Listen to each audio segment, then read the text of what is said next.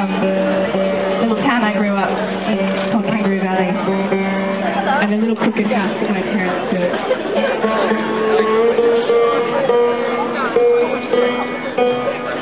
So we're going to move on to feminism now. Well done, well done. Oh. I think um, Judy Small's here this year, and um,